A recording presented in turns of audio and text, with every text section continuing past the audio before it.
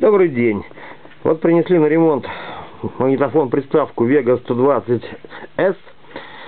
Интересный магнитофон. Хотелось бы о нем немножечко рассказать. Но ремонт уже завершен. Аппарат в работе. Поэтому Давайте немножко о нем поговорим. Итак, что из себя представляет отечественный магнитофон Vega MP120 Stereo? Это магнитофон, приставка кассетная, однокассетная, естественно, э, значит, э, выпускавшаяся э, производственным, Бердским производственным объединением с 1986 года, производственным объединением Вега, разумеется. Вот. На мой взгляд, это одна из лучших отечественных магнитофонных приставок. Э, значит, обеспечивающих наиболее качественное воспроизведение э, кассет, э, снабженных лентой на основе диоксида железа, а также хромовых и металлических. Вот, причем, скажем так, все вот типы ленс на этой на этой приставке могут быть использованы. Здесь имеется переключатель типа ленты. Вот. Чем характерен этот аппарат? А, значит, он трехмоторный, то есть у него два двигателя на перемотку и один на ведущий узел тонвала.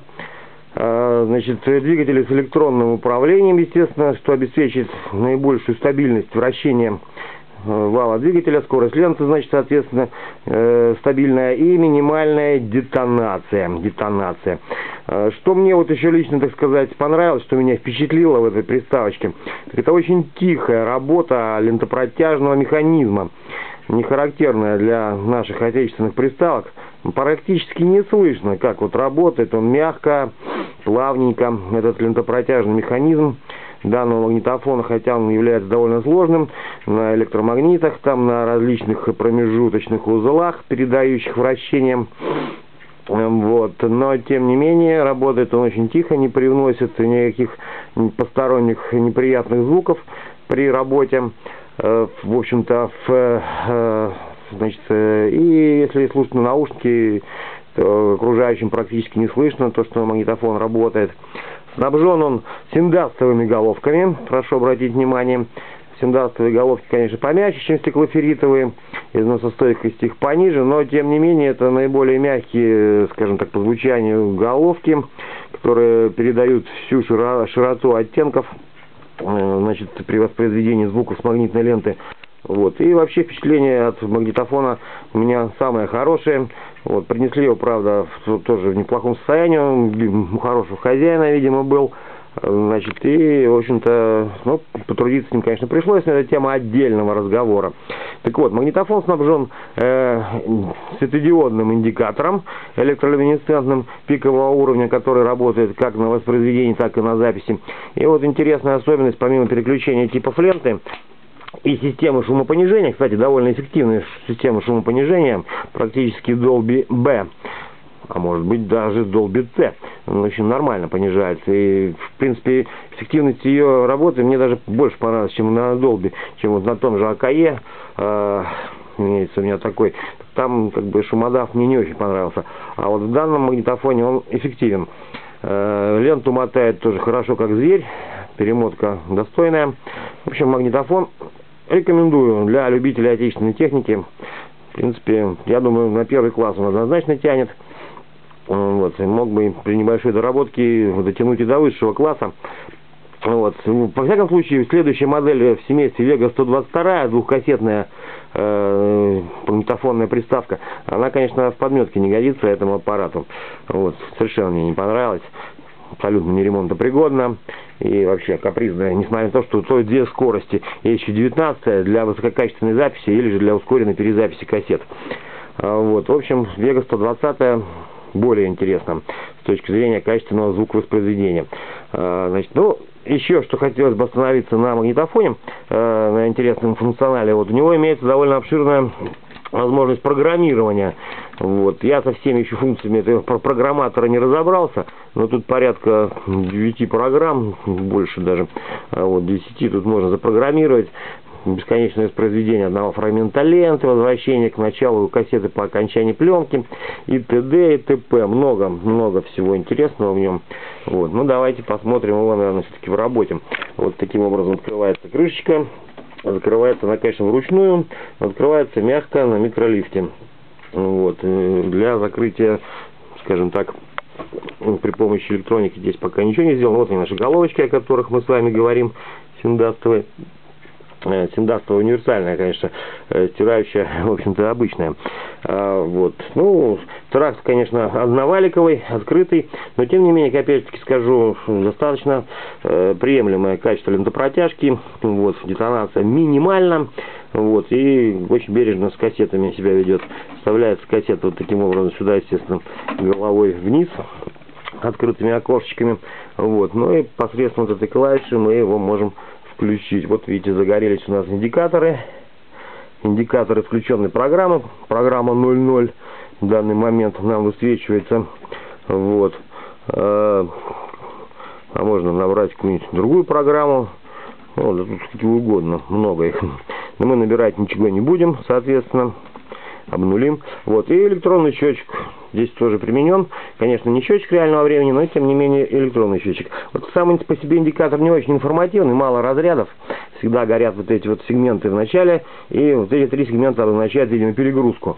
А вот, то есть, когда в этих сегментах находится показание индикатора, значит магнитофон в режиме перегрузочки находится. Давайте послушаем, что у нас написано на этой кассетке, поскольку лента обычного типа поставим феррум. Вот, управление псевдосенсорное, нажмем клавишу.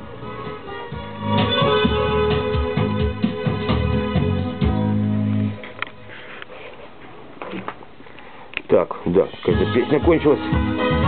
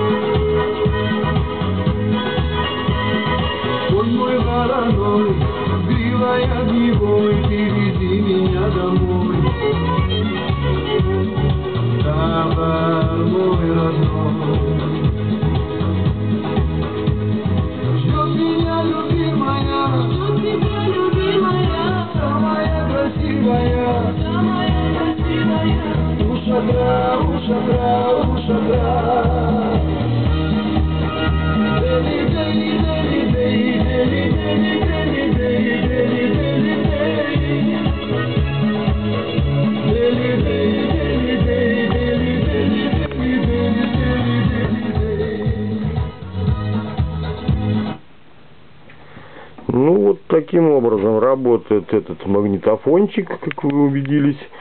Все достаточно прилично. Счетчик сбрасывается вот таким образом.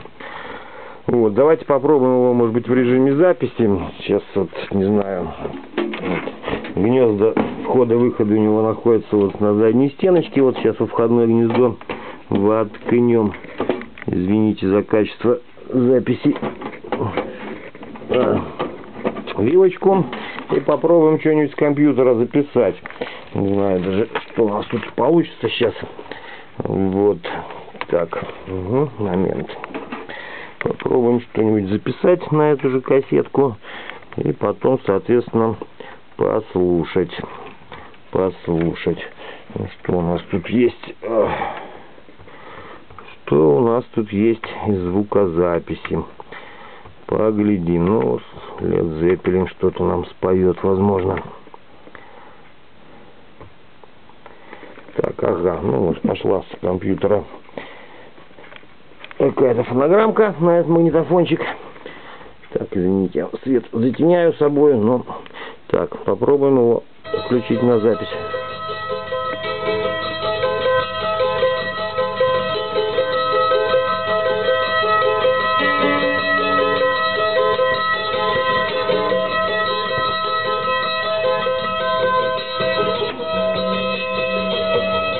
Загорелся индикатор записи.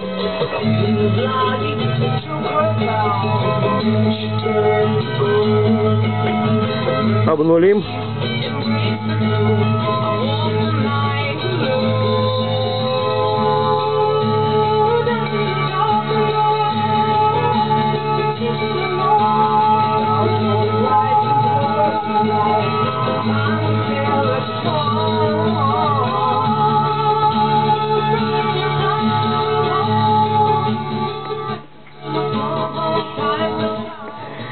Регуляторы записи по каналам как бы раздельные, но вот, соответственно, они на одной оси находятся, то есть регулируя, регулируются вот этими рукоятками. Вот видите, убрали один канал, добавили, на индикаторе это все хорошо видно, да? Устанавливаем нужный уровень записи. А выход у меня сейчас пущен через выход для наушников, как вы видите. Вот, просто не хочется искать кабель соединительный. Ну, посмотрим, что он у нас там понаписал. Пауза. Стоп. Перемоточка. Интересно, на нуле остановится или нет? А, остановился. Программка стоит, мотает до, до обнуленного счетчика.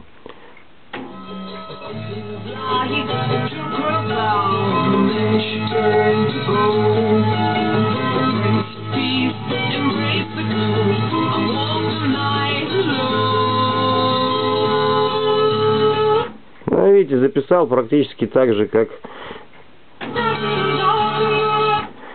с тем же качеством, что на него и пришло. Не хватает этого магнитофона сквозного канала, конечно, по моему убеждениям. А так, очень хорошая штучка для ретро-аудиофилов. А вот что с ним случилось, собственно говоря, э, почему он оказался на ремонте. Вот кто-то в него когда-то давно, видимо, попытался внедрить э, систему динамического подмагничивания, э, вот, систему динамического подмагничивания, это платка, э, значит, конструкции Сухова, известного, скажем так, э, конструктора систем подмагничивания и других вещей к. Вот, довольно профессионально сделанная платочка, я хочу вам сказать на высоком уровне, хоть она самодельная, на высоком уровне изготовления, вот, даже с обозначением там, контрольных точек, правый канал, левый канал, на двух микросхемах серии К-170 157 UD2 на двух операционных усилителях. Вот. В принципе, с этой схемой, как бы работающий, он, в общем-то, я думаю, выдавал параметры еще более интересные, подстраиваясь сам под запись. А, вот. Но, к сожалению, она перестала работать. Э, не знаю, в вине ли дело, или дело в том, что там было перепахано в самом магнитофоне. Общем, пришлось довольно долго повозиться вот, отыскивая концы, откуда ноги растут, почему он не работал на запись, он не работал именно на запись. Пришлось схему эту, так сказать, удалить, к глубокому сожалению, потому что пожелание владельца было или сделать, чтобы со схемой работал, или просто на запись его вернуть. Ну, вот теперь, как видите, он на записи воспроизведения работает, вот, и, в принципе, удовлетворяет самым, скажем так, взыскательным требованиям для отечественной аудиоаппаратуры магнитной записи кассетной. Вот. Ну, на этом, наверное, закончу. Большое спасибо за внимание. Магнитофон мне понравился. Рекомендую. Всего доброго.